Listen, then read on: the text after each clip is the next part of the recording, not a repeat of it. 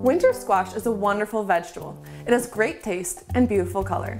It is also rich in nutrients like vitamin A. I like to add it to many different recipes, like butternut squash and black bean enchiladas, to improve their flavor, color, and nutrition. The only problem with winter squash is that it can be a little intimidating to prepare. Winter squash are very hard, and your knife can easily get stuck or slip. So today, I'm going to show you some steps to safely prepare your winter squash so that it can be ready to use in any recipe. First, wash the squash under running water to remove dirt and microbes. Pat the squash dry with a clean towel or paper towel. Next, use a sharp knife to pierce the skin of the squash and place it on a microwave-safe plate or dish. Microwave the squash on high for 6 to 8 minutes. This will soften the skin of the squash so that it is easier to cut. Let the squash cool until you can safely touch it.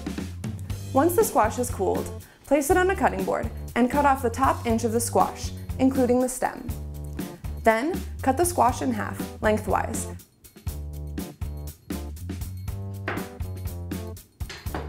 And use a spoon to scoop out the seeds.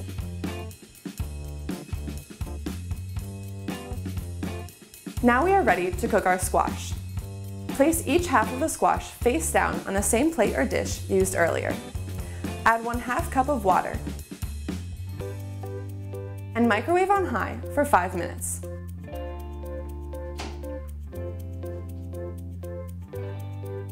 Check if the squash can be easily scooped with a spoon.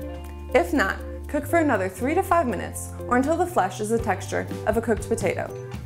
Let the squash cool until you can safely touch it. Once the squash is cool enough to touch, place it back on the cutting board. Depending on how you want to use the squash, you can either scoop out the flesh and mash it with a fork,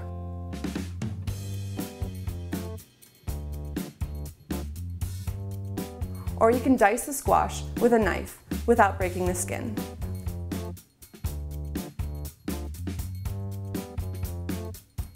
Then, scoop out the diced pieces with a spoon.